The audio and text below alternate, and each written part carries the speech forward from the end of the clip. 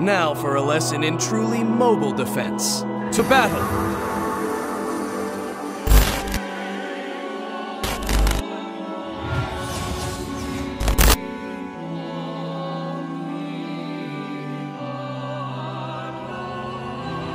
Same great taste, just less fulfilling. Strategic battles fought with epic heroes, now in diets. This is Michael Jordan, this is Niche Gamers Video Review Supplemental for Fire Emblem Heroes. Fire Emblem Heroes has two distinct art styles. Moving away from the pixel art style, Fire Emblem Heroes goes for an SD style approach. The other art style is a more typical anime character overlay which we see in the previous games on the 3DS.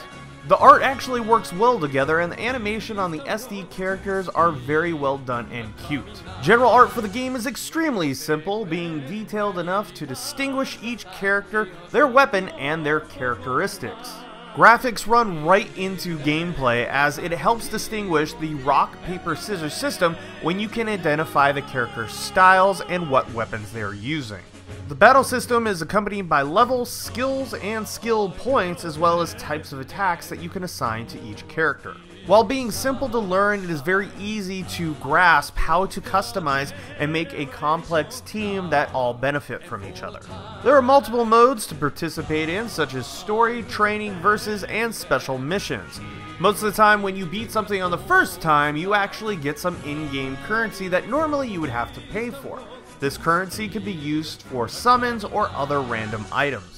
Now it's time to talk about the dreaded gacha portion of the game where you pump money in and might not get the characters that you want. I could see this being a giant money sink for Fire Emblem fans who really want to get their favorite hero. But for everybody else who just wants to play the game and have a chance at getting a cool character, the missions in the game providing currency are enough to allow you to play through it without it being a burden.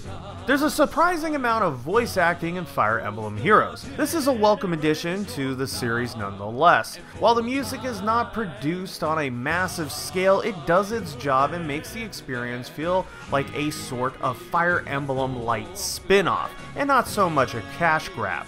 Outside of that, the sound design is fairly basic but serves its purpose.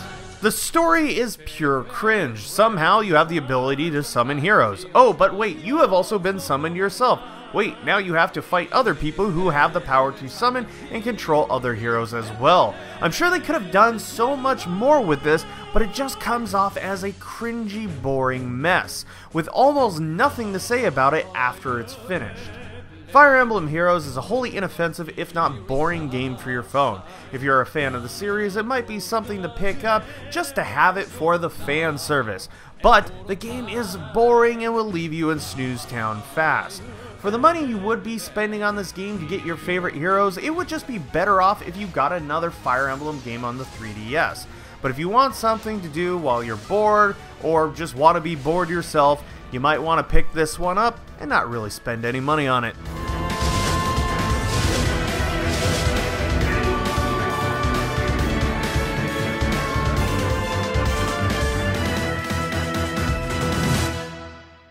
Thank you for watching this video review. If you like this video, feel free to like and subscribe. And if you want to help us out, feel free to check out our Patreon page.